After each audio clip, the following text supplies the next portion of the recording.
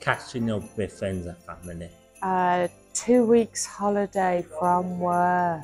togetherness. It's, it's always a fun time where you know families get together, have a bit of a meal, have a bit of a laugh. Um, you know, might, have a bit of sarcastic banter. Absolutely lovely time. It means spending time with friends and family and eating loads of good food. For me, it's a religious thing. It's like the beginning of the birth of Christ. Spending time with family and eating loads of chocolates. Eating lots of food and be with family. Pigs and blankets. Oh my God, Christmas means to me, as well as having extra time off work, spending quality time with family. It's got to be family, spending time, having that little bit of extra time to go and visit loved ones. What does Christmas mean to us?